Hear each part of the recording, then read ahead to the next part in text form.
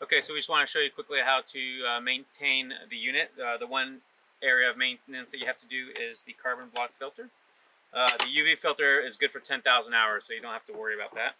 Uh, but in here is a 5-inch carbon block filter, which is available on our website or anywhere around the world.